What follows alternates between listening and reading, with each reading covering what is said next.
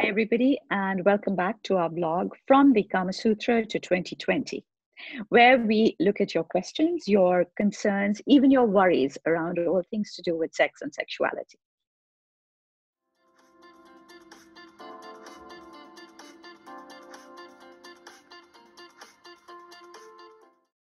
So, as always, we have with us today Dr. Anvita Madan Bahel. Anvita is a psychosexual therapist, and she brings to your questions a psychological perspective, a clinical perspective to add to the advice from the Kama Sutra. Welcome, Anvita. Thank you, Seema, and welcome everyone to our vlog this week. As you can probably hear, there's a couple of birds chirping away outside. It's extremely good weather. So it's a great day to discuss today's question, which says it comes from a man and it says, My partner and I really want to try a threesome. Is it normal to want this and to enjoy it? Is it mentioned in the Kama Sutra? We still haven't done it, but we are so intrigued by this. Now, before we actually get down to giving you our advice on this, I want to say to everybody who's out there listening that I really, really would like you, if this is something of interest to you, I really want you to listen very carefully to what we have to say this uh, about this today. Because yes, it is one of those very common fantasies. Yes, it's probably the most practiced fantasy. Yes, it is also extremely arousing when people think about it. And yes, it is mentioned in a lot of our ancient literature. It is depicted in a lot of our ancient art you have lots of paintings of kings surrounded by lots of women all indulging in um, some kind of sexual activity. You have things like chakra puja where um, there's multiple sexual partners with each person and so on. But that is all art and literature and fantasy. Reality can be extremely difficult uh, not just difficult but extremely different. It can impact you this particular fantasy of a threesome can impact you emotionally, it can impact you physically as well as mentally. And so I think that we really need to explore this and you really need to consider what you're doing. Anvita, what do you feel? So yeah, as in I would say that threesomes have become fairly easy and frequent because we have so many apps now where people can say we're looking for a threesome, we're looking for a certain kind of person. They talk about themselves as a couple. Uh, these apps have become important because you can then think about safety and who you're bringing in and who you're not bringing in, what type of person you're bringing in. So I just want to say that they have become common occurrence because there are lots of social media apps now that can help you with the process. However, it is really important when we start thinking about threesomes. There are a couple of things that we should really make sure of. One is that both people in the relationship should consent to it, but more importantly, want it, that it's a desire for both and not a one. And secondly, we need to think about whose need are we fulfilling? Like, who's the third partner that's being brought into the relationship uh, for sex? Is it, you know, in a heterosexual relationship, is it a man or a woman? Or in a same sex relationship, are you introducing a same sex partner or opposite sex partner? And is that a fantasy? So I think it's really important um, to think about whose needs are being met when we think about this fantasy. I think that that's, uh, you've used two extremely important words. We always say when we talk about fantasies that so long as it's between two consenting adults, then um, it should be okay. But I think it's more than just consenting adults in this, it should also be wanting adults because I think for something like this, for a threesome, it's one of those fantasies where consent can come out of pressure you can say okay fine my partner really wants it etc and i'll just do this to please him or i'll do this to please her. I think the want is extremely important. So that's the first thing that i want everybody to really focus in and take that word on board that it's something that both partners should want equally before you go any further. And Anvita mentions a really important point, which I was going to come to about whose needs are being met because when you look at most um, i'm not saying all but most visual depictions most um, literary uh, references, it is generally one man with multiple women. So it's very seldom that you get one woman with more men. So it's now it could be different reasons. I mean, I think that women generally are more comfortable, generally are more comfortable uh, exploring their sexuality with both men and women. So they're more uh, more comfortable exploring a bisexuality. Straight men find it very very difficult to be with another man, generally speaking. So that can be a little bit of an issue. And the other thing I find, Anvita, is that a lot of times if you have one man with lots of women, it's considered fabulous. You have one man, one woman saying that she wants lots of men she is termed a slut. Yeah, I, I sometimes worry about threesomes. You know, are they really coming from a space of like, oh, this is sexual pleasure that we really desire? Sometimes it can smell of uh, male sexual pleasure, fantasy, patriarchy. You know, it's about the male desire of having two women or the fantasy of seeing two women have sex. Um, so I worry sometimes that where is it coming from? You know, is it really? And that is why I think threesomes are something that each individual should think about what their desire or fantasy is. And it's an individual fantasy because, as an individual, you should fantasize a threesome and who's in that threesome.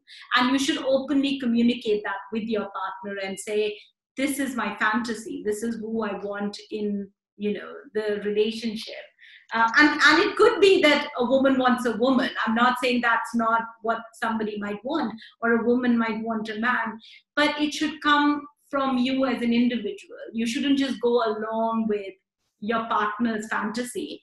And maybe you want to go along, but then there should be space that your fantasy would be welcome as well. So it needs to be something that's a, you know, there's equality there where all fantasies are allowed and explored. So Anvita, there's one other thing that always comes up. You know, people go into this um, fantasy. It's it's very exciting when you first go into it, and there, there's all this sort of newness, and um, you know, the the arousal attached to it is quite intense. But very often, also, it can happen that the emotional balance shifts, and one of the people in the couple, one of the couple, can end up falling in love with the third person who's brought in and this has happened often enough. So we know that it's a real thing that does take place in threesomes. So I think this is a complex question that you could look at at multiple levels, I think, because I know of a lot of couples that will contract introducing a person into their relationship only for sexual purposes.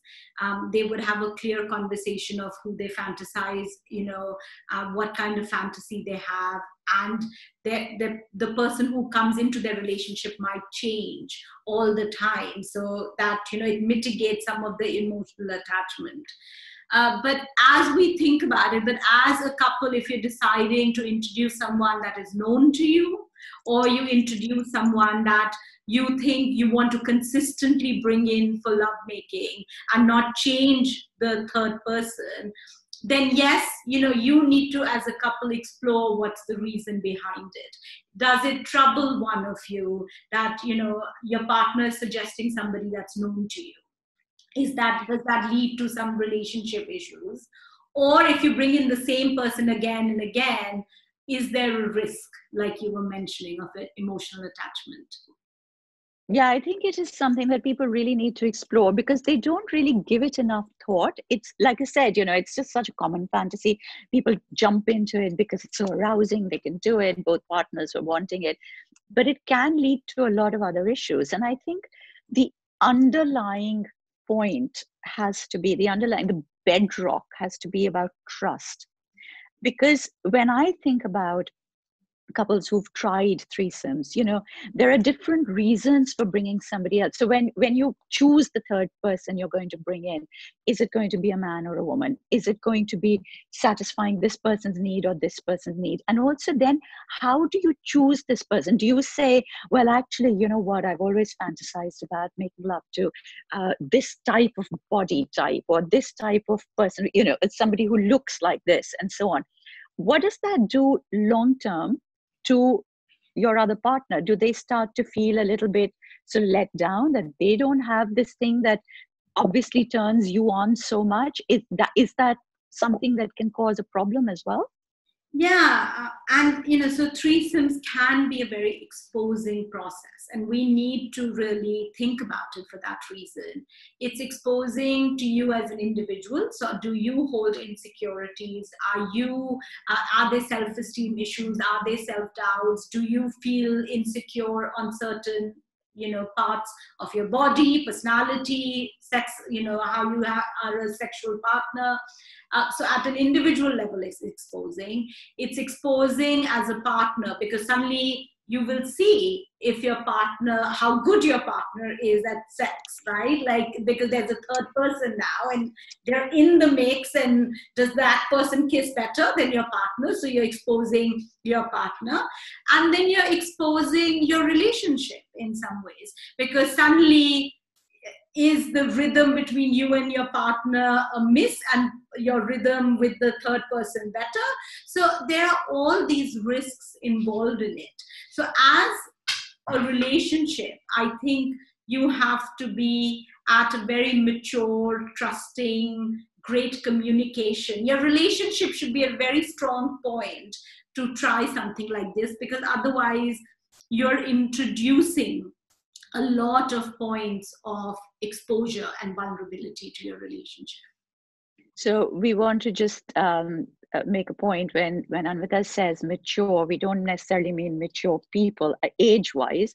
We mean mature people, uh, mature emotionally. So the relationship has to be mature, not the age yeah so you should be a partner that is comfortable seeing your partner with another man or a woman right? Like it's not something that you suddenly become jealous about it or start feeling uncomfortable about it or you know in the moment you're like oh this is a great fantasy but the fantasy ends like the love making ends and the next day you're making comments about how how much fun they had and how they can't believe they had so much fun in a threesome and what kind of man or a woman they are to enjoy it. So you need to be really comfortable with this idea and you should like for me i think what what how i would play it out is that once i engage in a threesome it should be that visual should excite me each time. Like it should be something that i remember as a memory thinking oh my god that like that's exciting.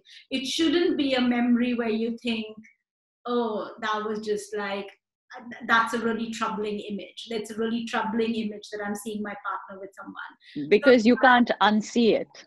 No you know once it happens it's there. It's in your memory. You have that visual for a lifetime. So just be sure that that's something that excites you rather than you know and, and you wouldn't know that because obviously you need to be in it to have that visual. Uh, but i think there's something like if there's any doubt then don't engage in it you know. So you know really be sure that that's your fantasy and that you're completely comfortable. Because at the end of the day it's seeing your partner engaging in sex with somebody else. So you should completely be comfortable with that you know it's interesting again because a lot of times it's one partner. So again i'm just taking a stereotypical situation. Let's say the man who's very very excited by it. He convinces the woman in his relationship his partner that they she wants to try it as well. She says no but he convinces her. Eventually they both go go into it consenting and wanting. But eventually the woman finds that she enjoys it far more than the man does. And like you said, the next day you have the man who's not feeling that comfortable about it and now is starting to point fingers and saying, Oh, you were having a great time there. You were, you were into, you know, what kind of woman likes it, etc. And then once again, the slut shaming starts yeah and and so you know to our point initially like we need to be and, and when we talk about a mature relationship, there are three equal partners in a threesome. You know, it is a fantasy between three people, and all the needs of all three people and the desires of all three people um, should be taken care of. And also there should be no judgment of that person you know. So if you shouldn't judge what they liked, what they didn't like. You should be comfortable. I think you should also communicate what is, you know, th- there should be a whole conversation between couples saying, this is what I want from the threesome, this is what I like. If there are things that are very intimate, that you as a couple have and you will not feel comfortable that your partner engages in the same way with the third person communicate say that you know because you think that that's really special between the two of you and you wouldn't ever want your partner to engage in that way with someone else then say that at the beginning not like during or after. So be upfront about what you're okay with what you're contracting to what is all right. And that contract is as important for the person you're introducing into the relationship.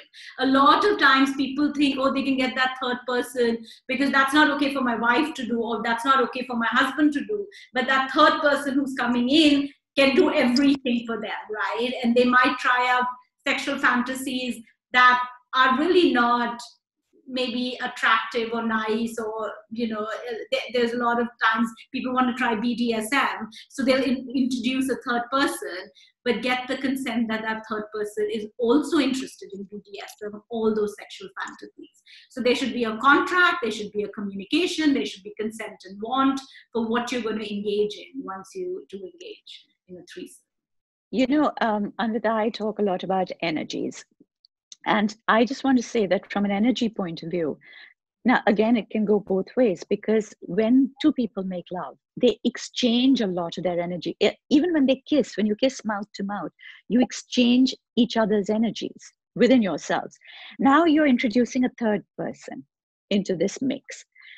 Aside from the fact that in today's day and age, they can be carrying any number of STDs or other things that may not be very good for you physically, but you are introducing a third energy into your relationship.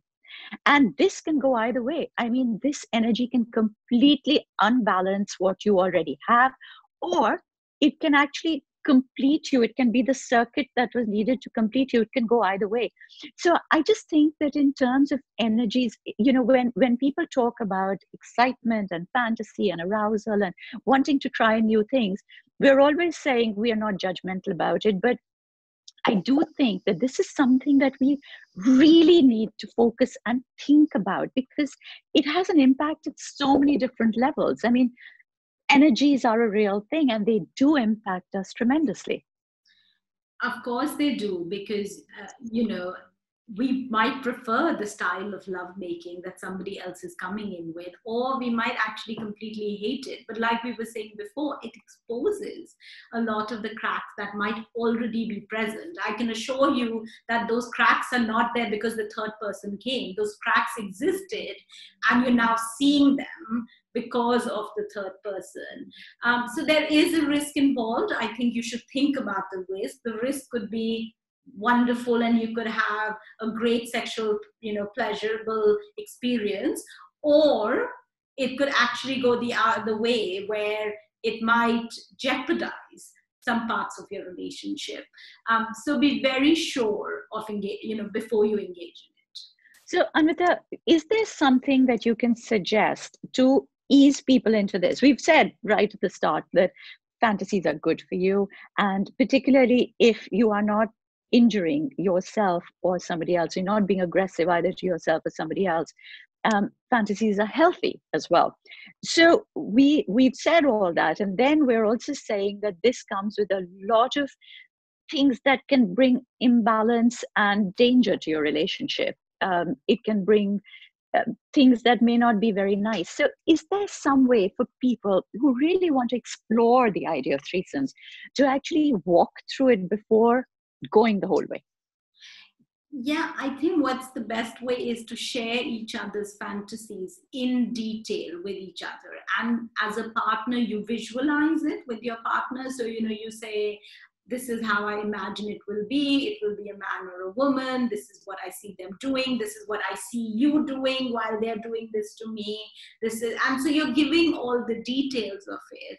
Um, and I think the partner who's receiving the fantasy really imagines it and checks on their emotions at that time because if you can't take it visually i can assure you you can't take it physically you know if any parts of it you feel oh, that you know that's like me churning my stomach or i'm not liking it um, then in reality it's even going to be more problematic. So pay attention to your feelings as your partner is sharing the visualization.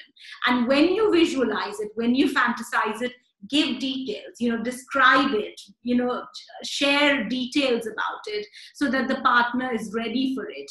And either way it's a great you know sharing fantasies can be very sexually arousing because you're sharing with your partner a sexual fantasy. So that itself can be a very arousing experience and can lead to amazing lovemaking. So it's not going to be a don't take it as an you know an exercise you're doing. It actually is a great for, way to foreplay uh, with your partner is sharing your fantasies. So share your fantasies, and as they are the other person receiving, please pay attention to your emotions and be honest in saying, I didn't like that. You know, I didn't like when you said that because that really troubled me. So be very aware of your emotions and talk about it. Would it help if they were to video themselves doing uh, having sex before introducing a third person, watching themselves? Yeah, I, I think there's something about you know video recordings. Uh, it it is more self-exposing in some ways. You have to watch yourself um, in a video because you know most time unless we are having sex in front of a mirror we don't see ourselves we only see our partner um, and so how does that feel how does that feel when you look at yourself in the video what the video can help is like sometimes the fantasy people want to have a threesome because they want to see their partner having sex with somebody else. You know that's that's one of the fantasies people have uh, and what a video helps in that case is that they still can visually see their partner in the act of lovemaking just that you know it's on video recording and things. So it fulfills that fantasy for sure. And maybe you're just satisfied with that you know that seeing it on video and you don't need to really bring in a third person. So that is something that you could try as well. And maybe also uh, initially instead of going the whole way having sex once you bring the third person in maybe going part of the way. Yeah and so like i said people really in today's day and age will contract as to what is going to happen in the bedroom. You know people really want to make sure that they're going to be safe even the third person who's entering the relationship. Um, so they would contract like will, it, will there be only oral sex? Will there be penetrative sex? Are there going to be other um, you know what kind of sex? Will there be anal sex? So there's a lot of negotiation in what is going to happen or not happen. And and purely because you know it is um, if you think about the risk factors involved, a third person is being invited to somebody's house or hotel or something, and there's two people against one. Uh, so people tend to, well, if you're going to be the third person entering a couple, I would really strongly suggest that you do contract in advance um, and get consent about what's going to happen between the three of you. And rather than just going in blindly and be open to everything, have a conversation before. Great. So I guess our response to other question is that if it's something that you really want to try, then do think about it very, very carefully. And the points that you need to think about is not just consent, but the fact that both of you want it equally before you introduce third person into your um, relationship make sure that everybody's needs are being met. It shouldn't just be satisfying one person and not the other. And be open to change along the way as you go along. Make sure that your relationship or this whole idea of this fantasy is based on a great deal of trust. And that trust will come from a great deal of communication. Talk to each other openly. If you're feeling open enough to actually want to try this together, you should feel open enough to communicate about it as well as as openly in the same way. And finally negotiate and contract. Actually decide. Do it little by little. Ease yourself into it.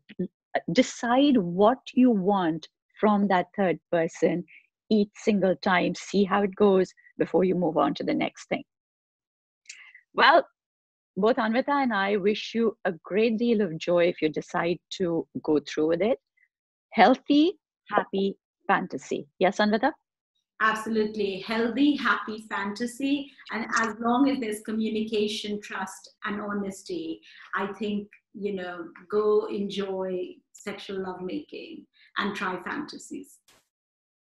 As always, at the end of the video, do like, comment, and subscribe. If you need to send in your questions, the email address is info.seema.anand.